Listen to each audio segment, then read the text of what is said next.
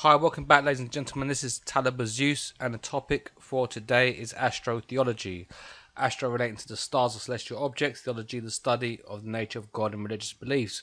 Now, when we look at astrotheology, there's many things to there's many things to really look at. So it's not just what we're going to look at here. We're going to look at the seven major planets here, but there's also things, other things to consider. So there's also the planets, uh, the the actual star signs, for example, star signs of the zodiac, which represent the 12 disciples of Jesus and so forth. But that's for another video. So for this one, it's just to keep it nice and simple and introduce people to haven't to those who haven't looked at this beforehand.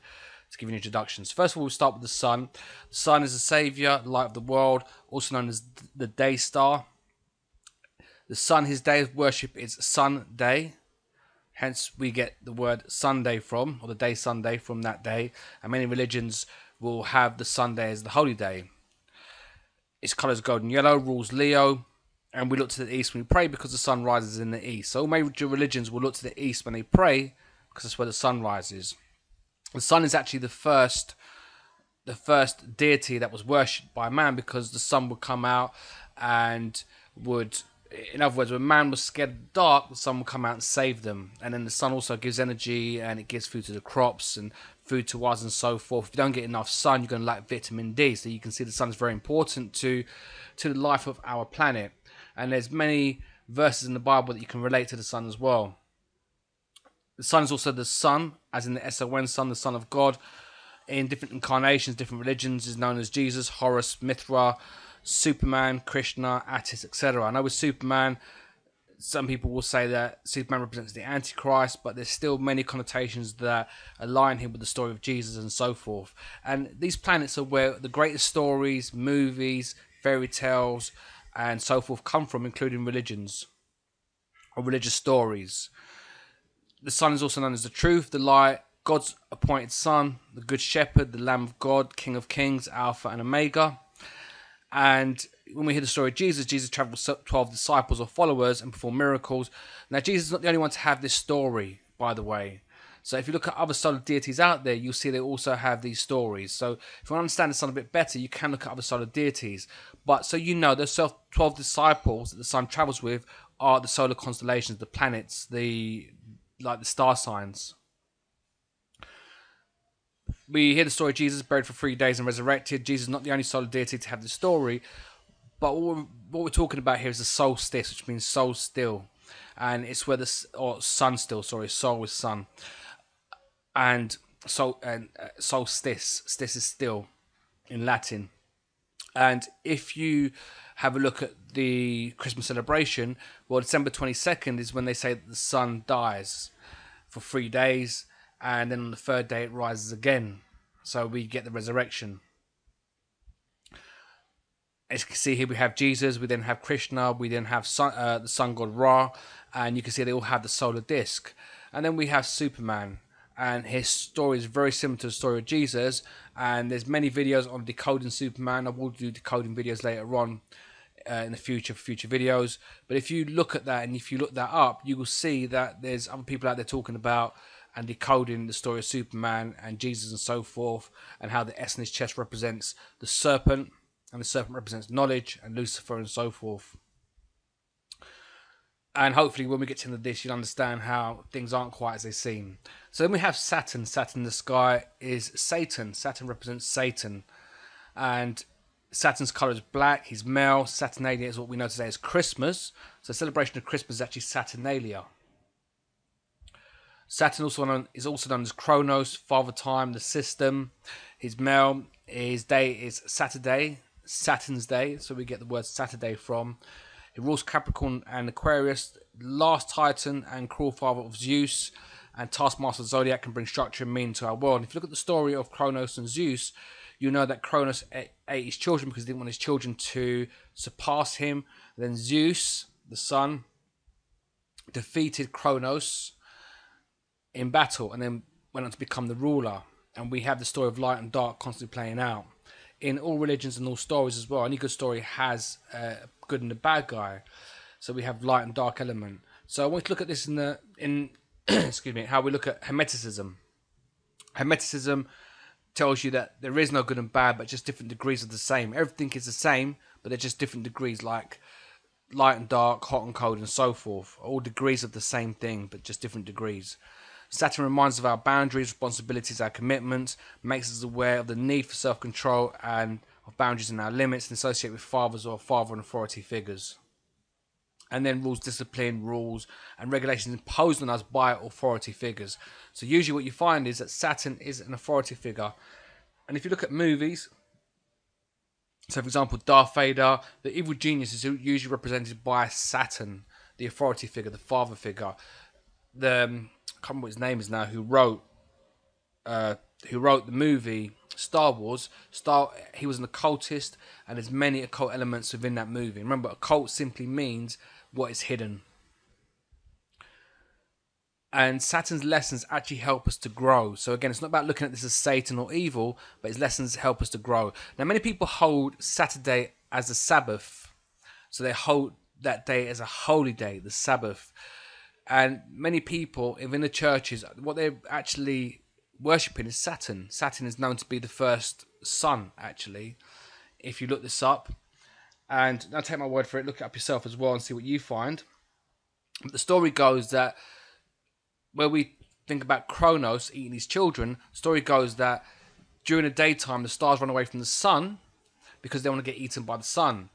But at night, when the sun goes down, the moon comes out, the mother, the kids come out to play again. And if you look at the story of Kronos and Zeus and his mother and so forth, you'll understand how that makes sense as well and how they came up with that. And here we have Kronos and what we call Satan or the devil. And then we have Jupiter. Jupiter is known as Zeus, also known as Thor or Amun Ra. He's a god of thunder. And he's he's said to be the boss and to be ruling in this current time in the age of Pisces of 2,000 years, and I know we're entering the age of Aquarius, or have entered the age of Aquarius. The Jews know him as Jehovah. Jehovah we will call God, as many religions do, and his day is Thursday, and that's Thor's day. So Thor is also a representation of Jupiter, and hence why we get Thursday from Thor's day. Thor, the the uh, pagan god in North in Norse mythology. Its colour is blue, represents Sagittarius, rule Sagittarius, including also rule success, abundance, money, growth, gambling, expansion, and those kind of things. So therefore, if you wanted to cast a spell for money or something, or luck, you're going to use the blue candle, for example, and do it on a Thursday, and preferably within an hour of Jupiter. Jupiter is the king of king of gods and the ruler of Mount Olympus, god of the sky, lightning, thunder, law, order, and justice, with symbols that represent him include the thunderbolt, the eagle, the oak tree, the scepter, and the scales. And when you look through, when you look at all kinds of sigils and logos of different companies, organizations, uh, government organizations, and so forth, you will see these particular symbols there as well. So you can see how they carry a lot of meaning to many different entities and powers out there. Otherwise, they wouldn't use them. And Zeus also the brother and husband of Hera. So the brother and the husband, and you hear stories about where many royalty or royals will mix bloodlines and so forth. So you can see how we get that connotation from these stories as well. Uh, Zeus, known to have many lovers and had many children, is also the brother of Poseidon and Hades.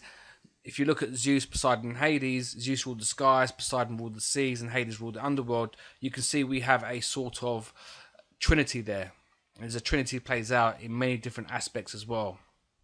So it's not a case of one thing relates to one element or one deity or so forth. It can relate to many as well. Also, Ganesh represents Jupiter as well in Hinduism.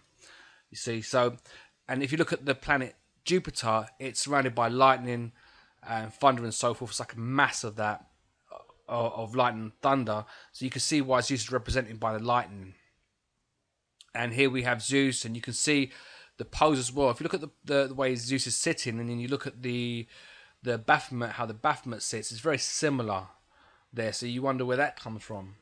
And then you have the eagle, which you everybody that's been in power, for example, if you have ever look at, for example, um, uh, the Nazis had the, had the bird, the Americans have the bird, and so forth. So you can see it represents power and ruling um, and that kind of thing. And then we have obviously the Egyptian god, and then we have the Norse god, which is Thor. And then we go into Mars, and Mars is the god of war, also known as Ares, Shiva, or Tia. And we have Tia's Day, which is Tuesday, and that's where that comes from. Uh, the its color is red, so when you see like in the movies, you see the bad guy sometimes being red, or like the warrior. Again, that's where representation comes from, and that's why they say if you want to start war, you start it on the Tuesday. 9/11 was was initiated on the Tuesday as well and records are released on the Tuesday, or new albums or songs are released on the Tuesday as well. So you can see where that comes from. And Mars all about action. Mars rules the signs of Aries and Scorpio. If you know anyone that's an Aries, generally you find they tend to be quite aggressive, want to argue their point all the time, and always want to be first. And Aries is the first of the zodiac. Represents male sexuality, strength, lust, anger, destruction, medical issues, and also action, of course, including war, violence, and bloodshed and his symbols include the boar, the serpent, the dog, the vulture, the spear, and the shield.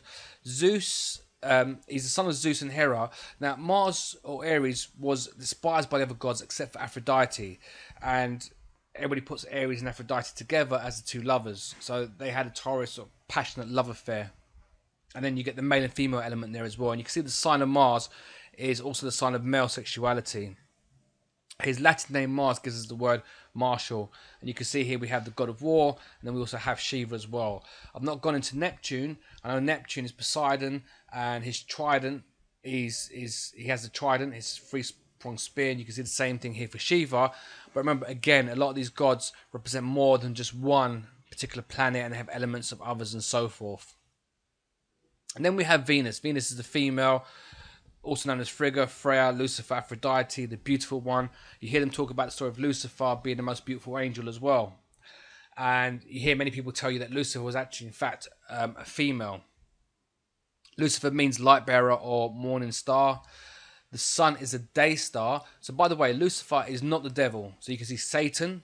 Saturn is Satan. Lucifer is Venus. Two different here. So the sun is the day star, Venus is the morning star and the evening star. So Venus challenges the sun for the light of the morning. Hence, where you get this conflict. Why is there a conflict between Lucifer and Jesus? You can see where that comes from. So you can start piecing the pieces together here. As we know, Venus is female, and her day is Friday or Freya's day, or Frigga's day. We can see how Freya's day equals Friday. So you can see where the names come from also. Her colour is green, and she rules Taurus and Libra. If you wanted to do a love spell, you do a love spell and you do it to the goddess of love, beauty, and desire, which is Venus. You would do it on a Friday, preferably in the hour of Venus. Though the candle you might use might be a red candle because red is about passion as well and lust. And the symbols include the dove, the bird, the apple, the bee, the swan, the myrtle, and the rose. Again, you'll see these symbols that people use in other areas of life, even companies as well, when you look at company logos. So you can see where they're going with this. And her name gives us the word aphrodisiac, while her Latin name Venus gives us the word venereal. And venereal is about uh, passion and sex and, and lust.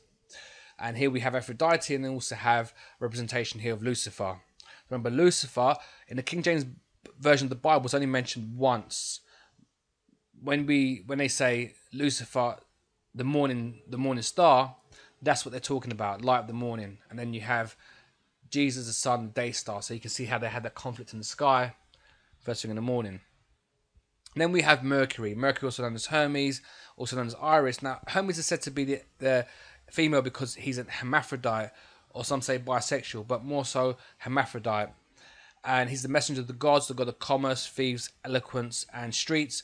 Also known for speed, and Mercury is the fastest traveling planet out of the seven major planets. The symbols include the Caduceus, I believe it's called, which is a staff entwined with two snakes, the winged sandals and cap, the stork, and the tortoise. And he's the son of Zeus and the nymph Maya, which now can get a bit confusing if you think about Mercury's day is Wednesday, and Wednesday is Odin's day, and Odin is the father of Zeus. So you can see how it can get quite confusing. So it's not to say that this person, this this deity is this deity is this deity is this deity. It's a representation of the planets, and everyone's told their story. Every particular power or religion has told their story in their way. Same as in movies, etc. But you can start to use this to start to begin to decipher as well.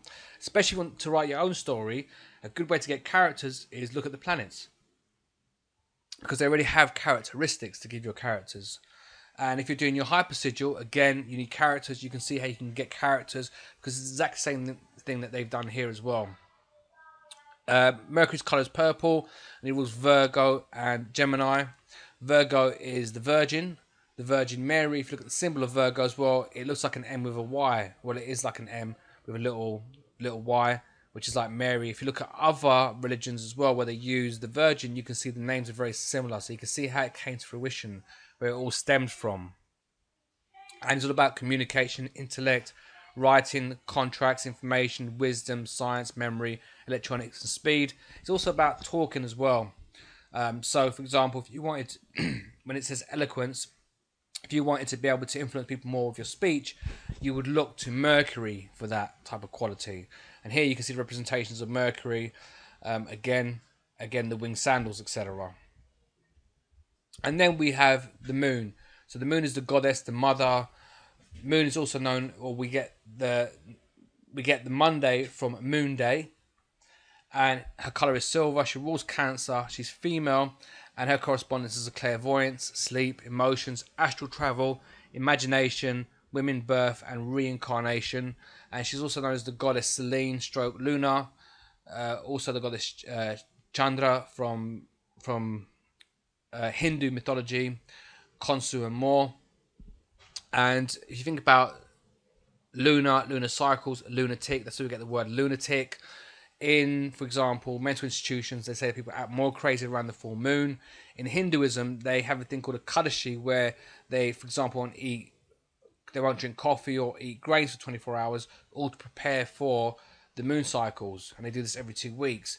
And it's so their emotions are not so affected by the moon if you think about what the moon influences, it influences a reproductive and menstrual cycle in women, but also controls tides and affects our emotions because we are about 80% water. And so if you think about that, where it controls the water, pulls the tides in and out, and then if we are 80% water and we have our water system or the water in our body being pulled back and forth as well, you know, you can see how that kind of corresponds to that and why it affects our emotions. Also, during the times of a full moon, you hear where they talk about the werewolves. You wonder where that story came from.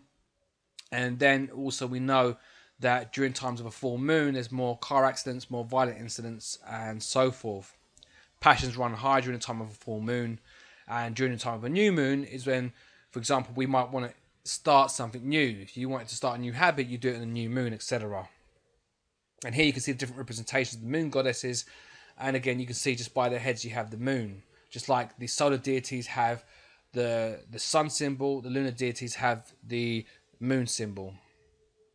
So that was I want to do this video. I want to be really quick at this video and put this out there for you and just touch on the seven major planets and how they correspond to these different deities and different religions and so forth, just so you can get a gist of how these stories come about and how they come to be. Of course, the subject is a lot more vast than this. We have to include there's other planets in there as well, and then there's also the things like the actual um, solar zodiac signs. So, for example, Scorpio is a sign that looks at you and then stings you from behind with its tail. So, it's like a betrayal. When it stings you, its sting looks like its sting looks like a kiss from a human, and hence why we have Judas Iscariot is a Scorpio sign that betrays Jesus, betrays Jesus, and then it's after the sun travels through Scorpio that it starts its down its decline into the winter time, etc. So you can see it's a lot more in depth than that. I wanted to simplify as much as possible. So I hope you've enjoyed this. Please like, subscribe, share, comment. If you've got any questions, by all means, ask them. And then what I'll do is um, I'll be happy to answer your questions on eh, down YouTube, Facebook as well. And also, if you do have any topics that you want to discuss or you want me to discuss in more depth, by all means, please let me know. Until next time, thanks for listening. Peace out and God bless. So here we see Zeus to the left with the eagle and staff, etc. And then we also see Amun Ra, and then we see Thor as well, the Norse god Thor. And if we look at how Zeus is sitting, it's very similar to how the Baphomet sits in his pose. I'm not saying it's exactly the same, but there's a distinct similarity there. So you can see how things filter down, for example, even where the Christians have the cross, yet you see the Egyptians had the cross before the Christians did, and so forth. So pressing on, we have Mars. Mars is the god of war, also known as Ares, Shiva, and Tia, and that's how we have Tia's Day or Tuesday, and that's where the word Tuesday comes from. And his color is red. He rules Aries and Scorpio, and Mars is a male energy. So you can see the symbol on the top right hand side represents the male, and that's the symbol we use now currently to represent male, male energy. And Mars is all about male energy, male sexuality, strength, lust, anger, destruction, medical issues, action. He's also um, associated with war, violence, bloodshed. So, for example, uh, 9 uh, 11, um, that was instigated on the Tuesday. Also, for example, records are generally released on a Tuesday as well. So, if you wanted to, for example, um, incite something along this nature, then you would do that on a Tuesday. Again, in relation to Mars. Red also symbolizes passion as well, hence why the color red is used, for example, in love spells. Its symbols include the boar, the serpent, the dog, the vulture, the spear, and the shield. Again, we've seen these in many different ruling nations. Uh, the eagle, for example, that we saw that that um, that Zeus has, and here we see the vulture. And generally, when these birds of prey, a lot of them say relate to the phoenix as well, which is a bird that rose from its own ashes. But you can see how a lot of things link back together. So my point I want to make with regards to these examples are that you'll see characteristics, symbols to represent various characteristics. For example, so in Star Wars, it was um, Darth Vader was all in all black, but then you had the in the new Star Wars, you had the other character. His name escapes me right now, but he was red and black. So that same type of example. Mars is the son of Zeus and Hera, and all the other gods except Aphrodite despised him. So he's known for having a strong, passionate love affair or love affairs with Aphrodite, and that's why we have Aphrodite's Venus represents the female, male and female. And if you look at the Hermetic principles, again, law number seven is the law of gender, which basically states that there's male and female in everything, and in all forms of creation is male and female throughout the universe.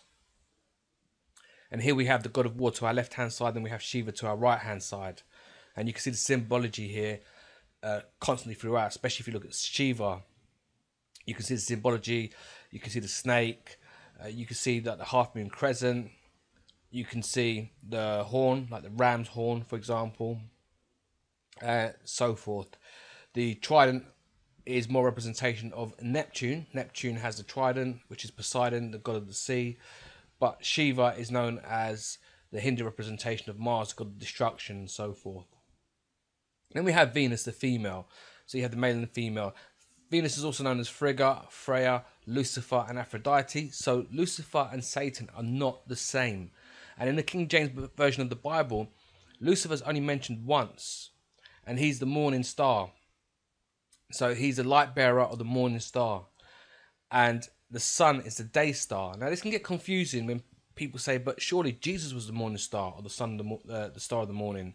But also Lucifer was the morning star. How does that work? So Venus is the morning star and the evening star. And in the morning, Venus is the brightest star there is. And you can vaguely see Venus during the day.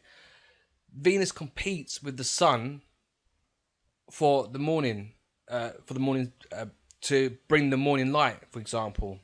So hence why we say there's opposition between Lucifer and Jesus. You see how this is very sim, uh, symbolic. These stories, and it's again, it's not to discredit anything that's being taught. I'm not saying that Jesus wasn't a real character or that Krishna wasn't a real character or any of these things. I'm just saying that a lot of the stories that we're being told they're based off of the stories of the planets, basically. Venus obviously is the female. Lucifer was said to be female also. And when people describe Lucifer, they always say Lucifer was the most beautiful angel in heaven. When we think about beauty, generally we think about female as opposed to male. It doesn't mean that there isn't men out there that also have that characteristic, but it's more of a female thing. Say a woman is beautiful. Venus's day is Friday or Freya's day, hence we get Friday, Freya's day. And her color is green. Now, I know that we pray to Venus when we do a love ritual and we do it on a Friday, on a day of Venus, but generally red candles used, as I said earlier, and that's because it's all about passion as well. And love carries a lot of passion.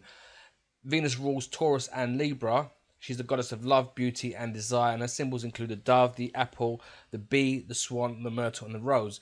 And what's interesting, if you do take these symbols and just Google them and look into the symbology behind these symbols, they generally have a much deeper meaning as well.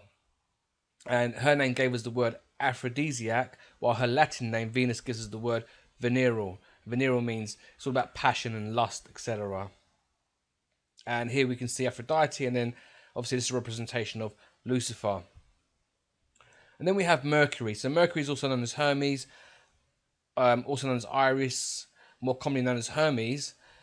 And Mercury is considered the female or a hermaphrodite or stroke bisexual by some people, but more hermaphrodite.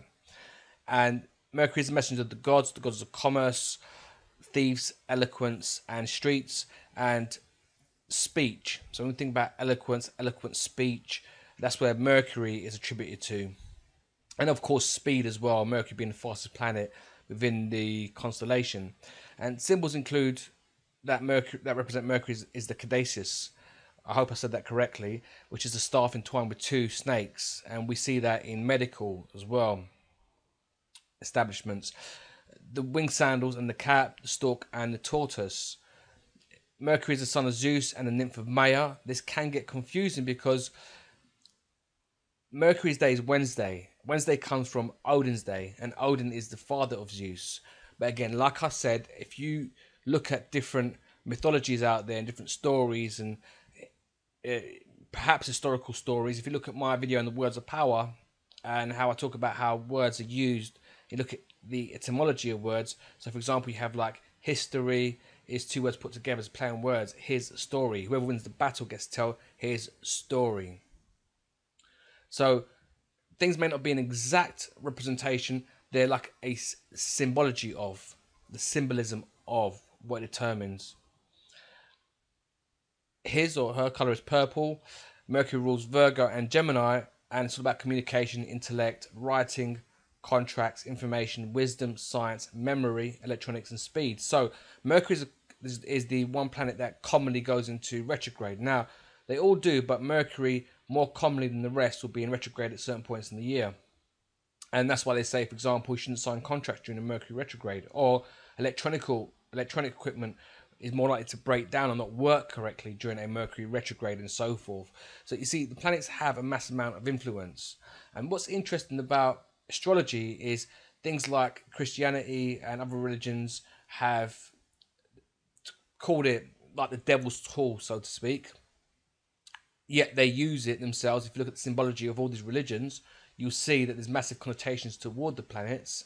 And again, as you see the stories being played out, it's all about the planets. And also things like local newspapers and magazines where they've printed little um, little astrology predictions, so to speak, and they sort of discredit astrology as well. But if you look into your birth chart when it comes to astrology, see where the planets are placed within astrology, you will see that actually these things have a deeper meaning and connotation to your life and tell a much different story. Though always remember that you still have your will, regardless of what the planets line up, you still have your will. And here we have a representation you can see of Hermes or Mercury as well. And then we have the moon. So the moon is also known as Moon's Day is Monday, Moon Day, also known as Monday. Hence, we get the word Monday from the moon. And her color is silver. She's female, rules Cancer, and she corresponds to clairvoyance, sleep, emotions, astral travel, imagination, women, birth, and reincarnation. And she's also known as the goddess Selene, stroke Luna, also known as Chandra in or Chandra in Hinduism, and Khonsu and more.